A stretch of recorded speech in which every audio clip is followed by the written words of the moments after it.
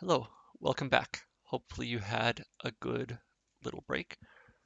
So next up we have something which we call the humans of scientific computing. So it's interviews where we basically talk about ourselves. And our special guest this time here is Samantha Wittke, who was in the previous talk, actually. Hi. Um, so Samantha, can you tell us a little bit about yourself again? And maybe go more into what's your background and how did you start your career? Okay, yes. So um, I did my bachelor in Germany in uh, geoecology or natural sciences, and then went on to uh, start my master's in uh, geoinformatics, from where I went on an exchange year to Finland, to Aalto University, um, during my master in geoinformatics. And that led me to um, being in contact with the Finnish Geospatial Research Institute, um, where I asked for a possibility to do my master thesis here because I really liked Finland and I really wanted to stay here. Um, this was almost nine years ago now. I'm still in Finland. so it all worked out. I got to do my master thesis. They actually paid me for it and even offered me a job after that uh, at the Research Institute where I was working with satellite remote sensing um, mainly. And at some point they said, okay, um, we would actually like everyone to have a PhD because that just makes life at the Research Institute much easier. Don't you want to start one? and I hadn't thought about this before so much, uh, but I was like, hey, yeah, it's the same as my normal work. So why not like package it and do a PhD? As you maybe mentioned before, I'm still working on that, even though this is now also already almost seven years ago. Uh, that's mainly due to it being uh, very short only full time, but mainly being part time. So I like did other mm-hmm. work during the same time. For a short while, I did it full time because I got a grant from Aalto University to focus on it. But there was a few projects that didn't go as planned. Maybe you know about these things. Um, and yeah, nowadays, like two years ago, I uh, uh, got an email that CSC was looking for a geoinformatics specialist, and I was reading like through the job ad and was like, yes, yes, yes, yes. Oh, this sounds interesting. Um, but I was a little bit like afraid also of it because CSC, like the big scientific computing center, and my background is not in like really computing or something. I learned most of it actually during the PhD times like I learned uh, about how to use Linux. I learned uh, programming in Python and so on uh, during that time. And I learned also how to use, or well, uh, yeah, how to use supercomputer, partly through this course, but also um, through CSC ah. um, courses. So I was like an, uh, I knew how to apply this like uh, for my research. I knew how to mm. run something in parallel on the supercomputer, but I had never looked behind that. So I was a little bit mm-hmm. like, eh, is this really like mm-hmm. something mm-hmm. for me? But then I I uh, like talked to a lot of people in especially the CodeRefinery community, and they very much encouraged me to do that. Mm-hmm. Uh, still, and yeah, here I am nowadays. Um, I work two years now as a geoinformatics specialist, helping geoinformatics researchers with bringing their um, bringing their computations to the supercomputer um, and doing training and so on. And nowadays, a bit more general. So it's not anymore mm-hmm. geoinformatics specific, but also like for other fields and to like outreach, yeah. trying to reach people in the like in the early stages, for example, of their yeah. PhD to know so, that there is CSC services and stuff like CodeRefinery available. Yeah. So what does it mean trying to help people to bring their work to the CSC supercomputers? Like, let's say, let's exclude the CodeRefinery work and other teaching yes. things. Like, what's a daily life? What's a day? What's a day in your life look like? Well, um, so in in that regard, it's basically like this morning we had a workshop with, in this case, humanists. So we asked them like, what what is um, like, do you know about CSC resources? Do you know about Mhm. supercomputers that they exist for your Mhm. work? And they said no.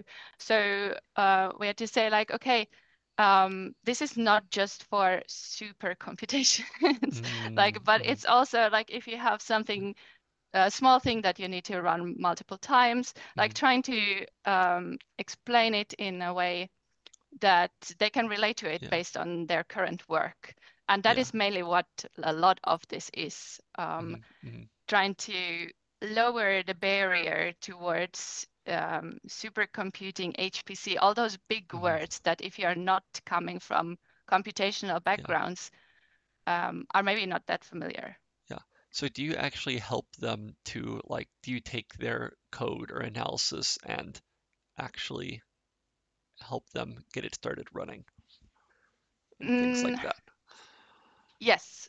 Okay. Um, so, Yeah. so if we know about know about that uh, people Mhm. struggle with um, making their own code run, for example, on our supercomputers, then um, we get to help them and we get to Yeah. like uh, tell a little bit about uh, the maybe different way of thinking that you need to start when you switch from your own laptop to the supercomputer. Yeah. Okay.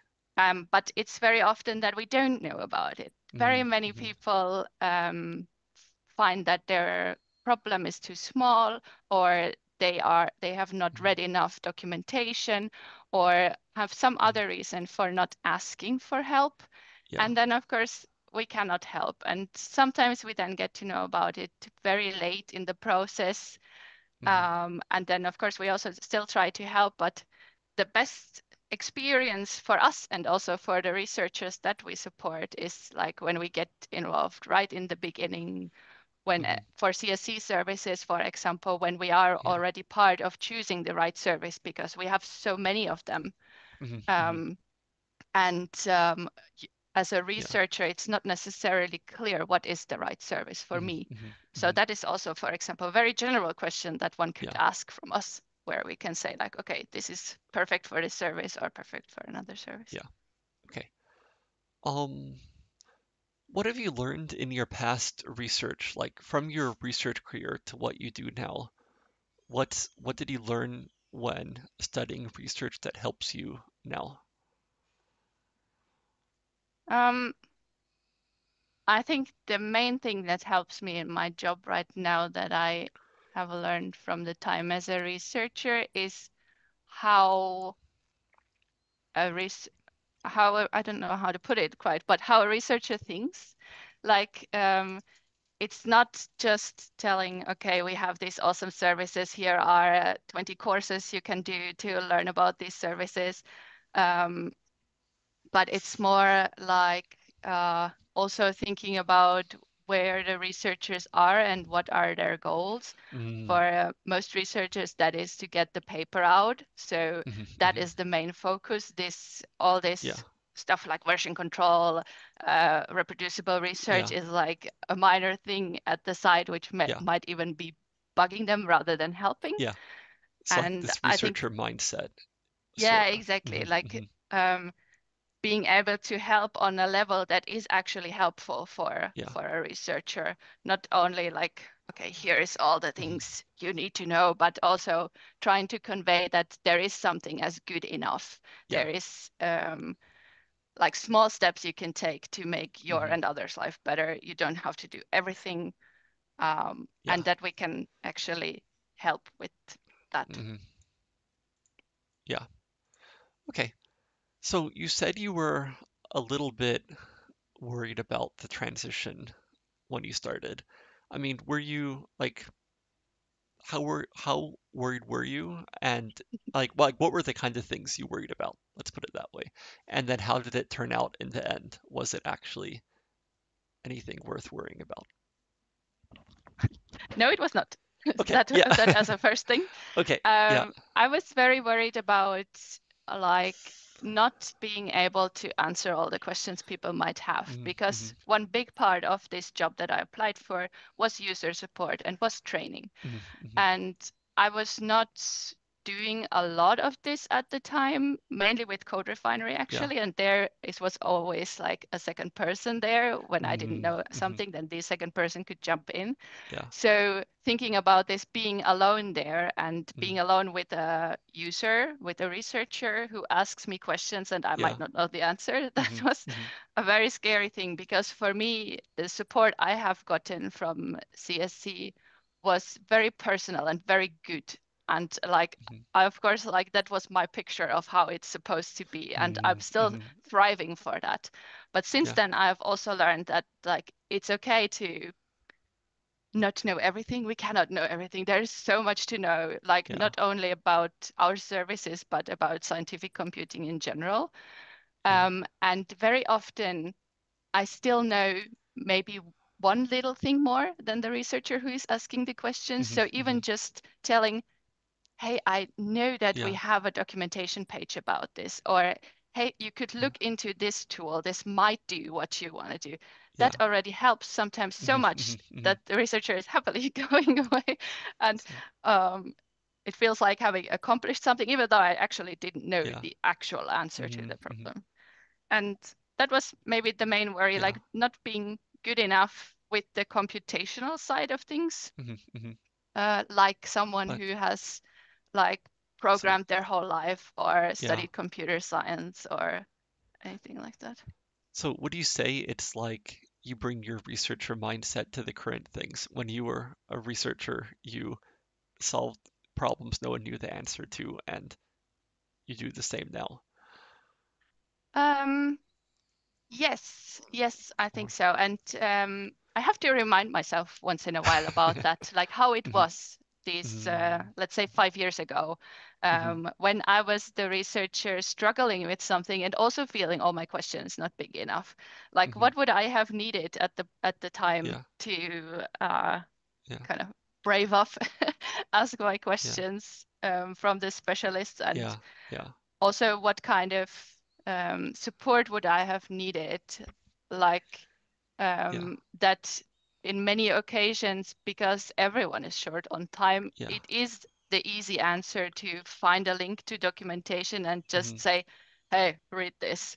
This is yeah. an easy solution to many of uh, troubles that people have.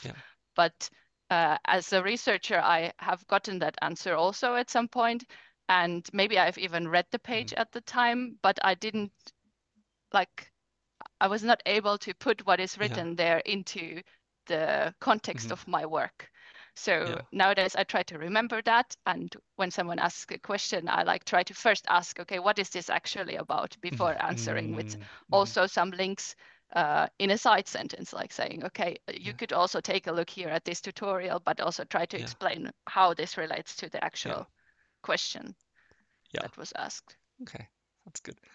So we've got a question from the note. So I'm at the beginning of my career as a master's student and I'm considering academia. What is the thing that one should know when starting? I guess you're not the academic career path, mm-hmm. but this is similar to a common question I've asked people. What do you know now that you wish someone had told you years ago?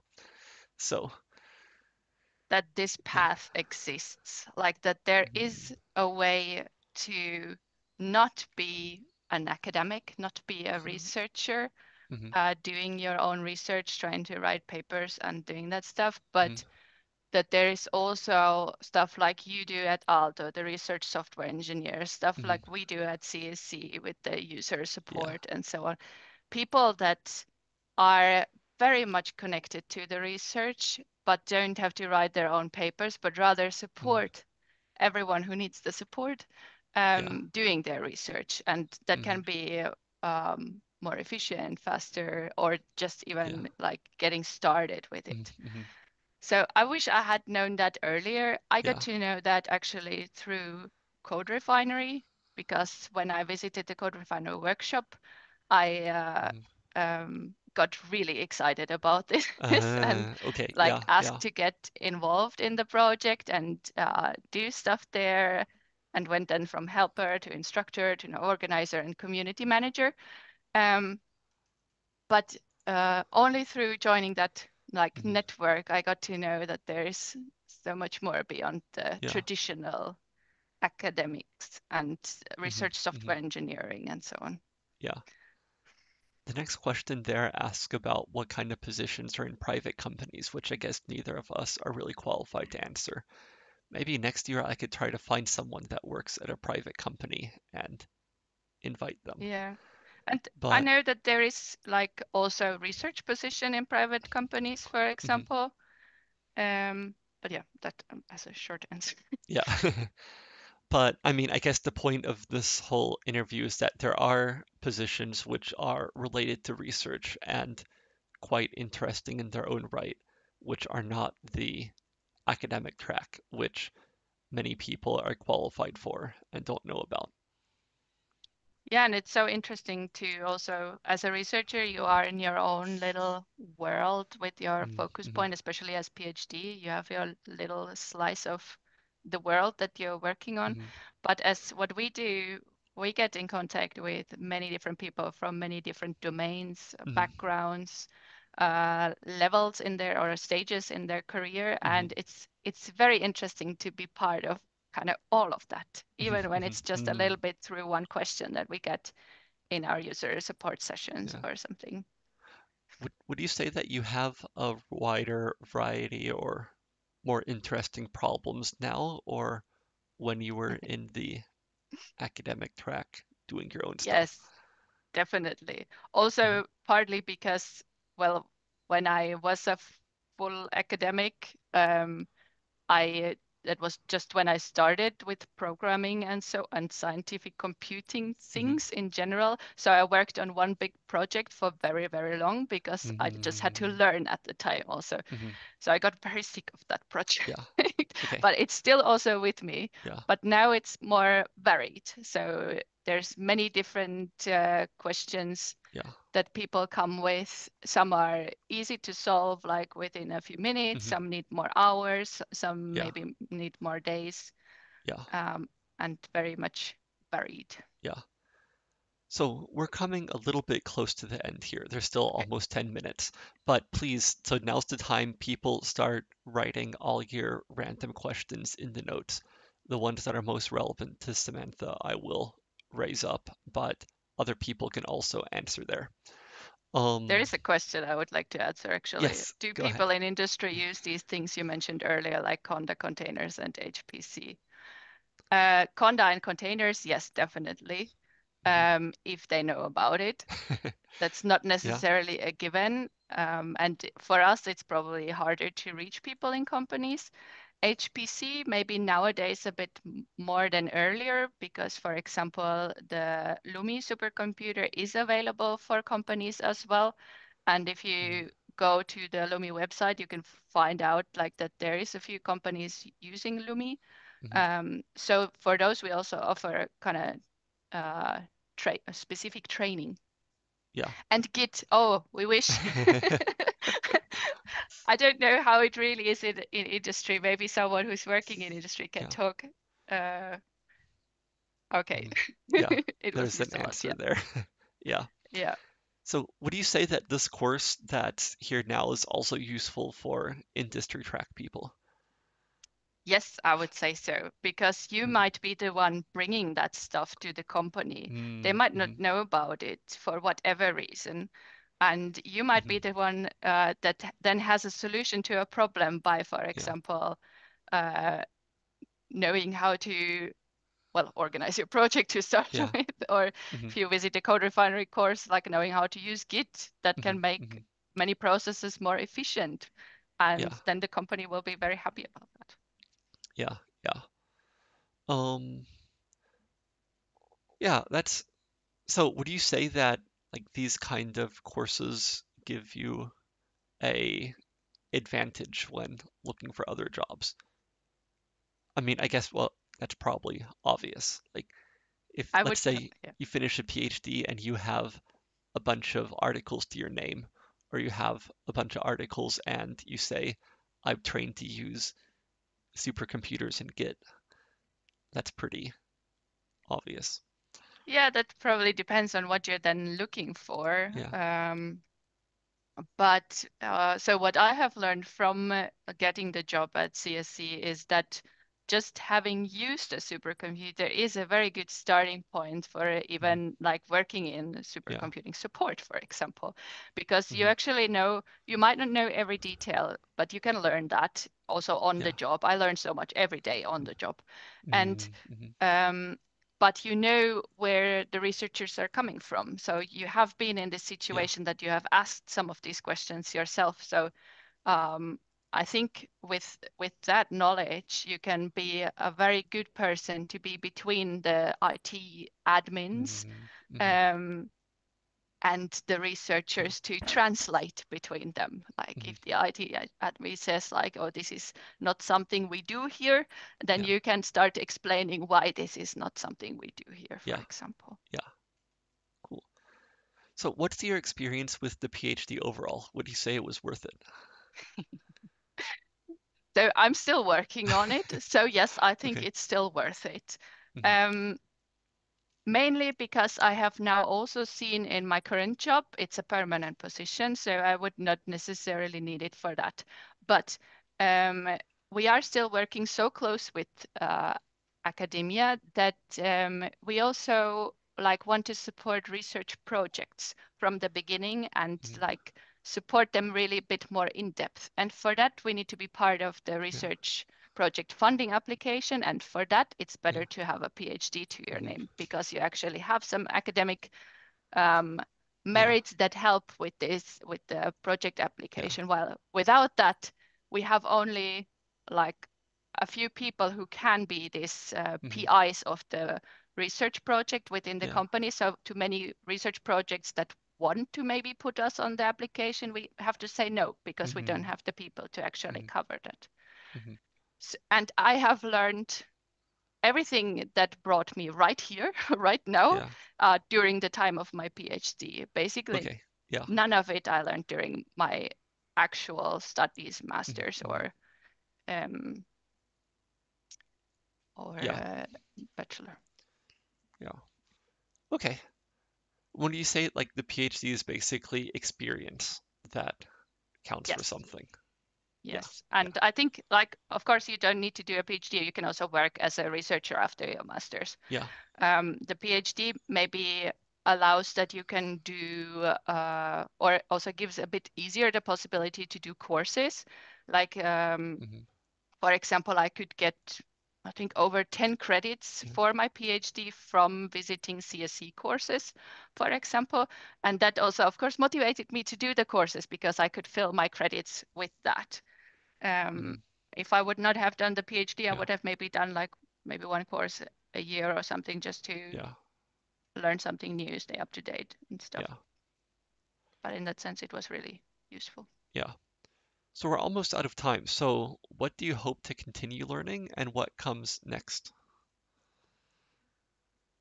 Um, well, I hope to continue learning more about how things work, how many of our services Mhm. work, um, how to um, reach like uh, currently my focus is a lot on outreach, so I hope to learn more about how to best reach out to people that would have use for our services and uh, that would have use for our support because there is so much of it available, so many people that are very happy to help um, with with things and i'm always so sad to hear stories like that someone has uh, been struggling with something that we could have helped with if we had Mhm. only known Mhm. after two years of struggling or something Yeah. like this Yeah.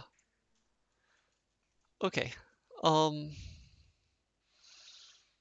yeah, I guess we're basically out of time. There's a comment that you're really cool and a good role model. So yes, I would agree with that. thank you Um, you know, many of our visitors here are like that. So yeah, I mean, we have to keep finding more for next year. Um, but yeah, I glad to mean, hear this really, was useful thank you for having like, me yeah, I mean, like, really, Samantha and all of us, we're basically normal people that want to keep um work basically going, help, basically, yeah, you're normal nerds yeah. hmm Um, but yeah, okay. So I guess thank you, Samantha, and see you around at the next CodeRefinery workshop in September. Yeah, and if you have any I more guess. questions, I'll still be here and answer them in the document. Keep them coming. Okay, great. Thanks. Bye. Bye.